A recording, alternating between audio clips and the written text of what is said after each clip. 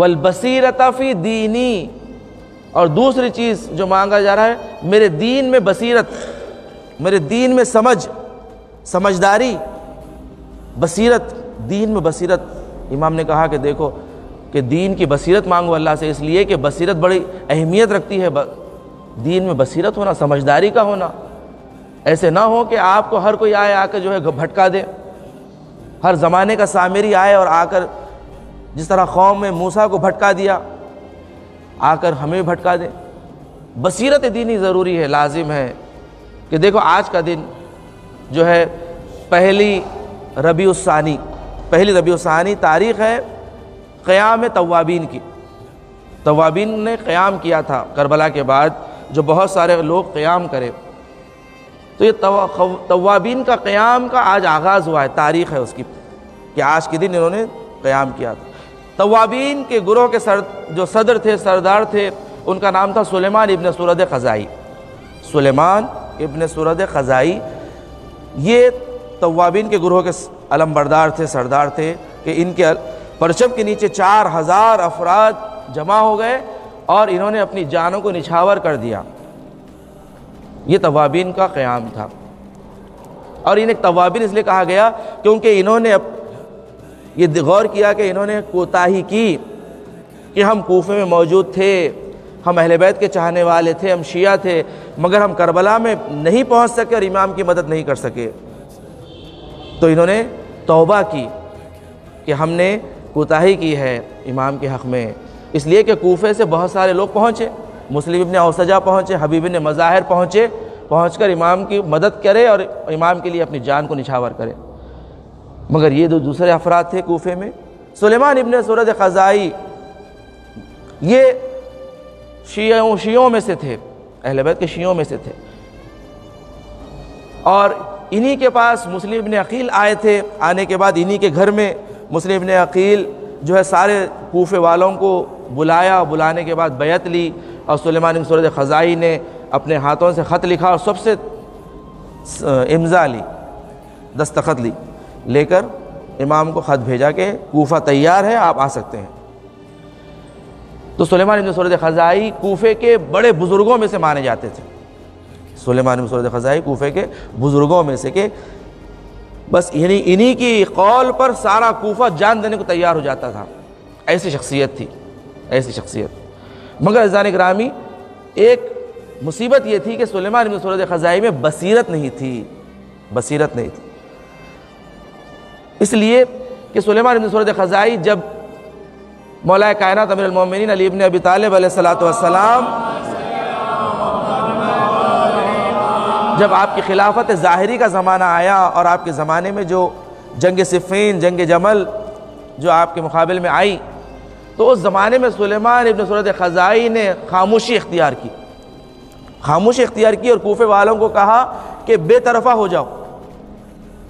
बेतरफ़ा हो जाओ। इसलिए कि यहाँ पर मुसलमानों के दरमियान जंग हो रही है, मुसलमान का खून बह रहा है। ये नहीं देख रहे थे कि हक और बातिल के मुकाबले में जंग हो रही है। और हक कौन है?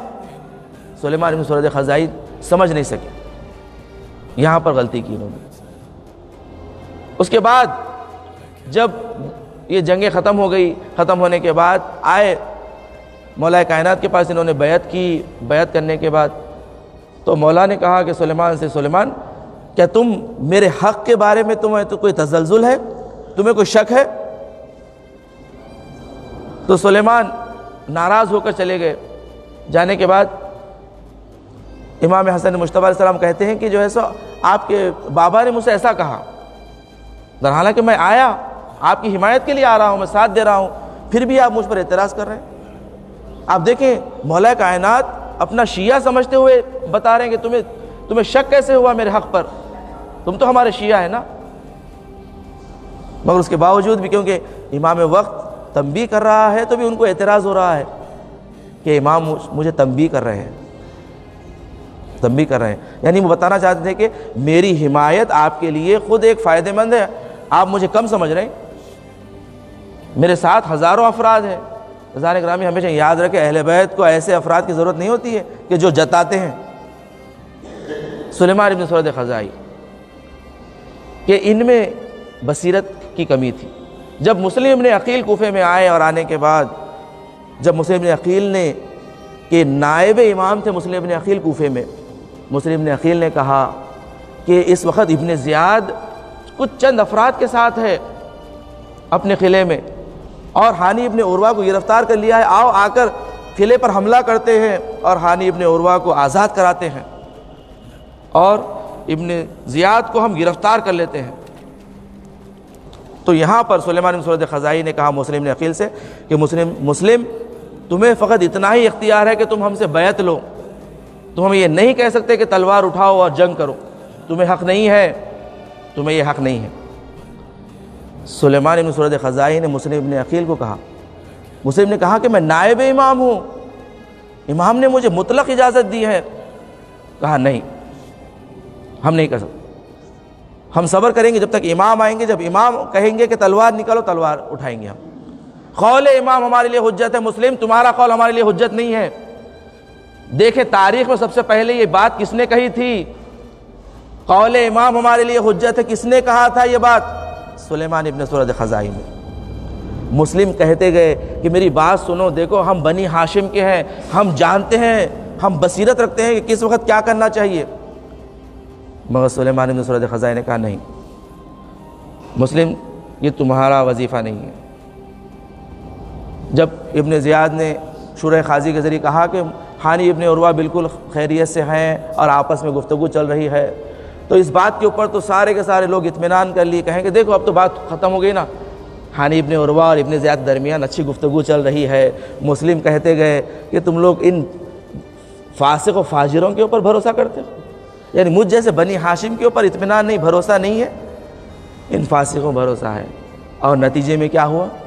नतीजे में ये हुआ कि मुस्लिम कोफे की गलियों में अकेला हो गया। जनाब, मुस्लिम ने अकील कोफे के गलियों में अकेले अब सारे शिया जो, जिन्होंने हज़ारों अफराद ने बैत की थी, वो कहाँ चले गए?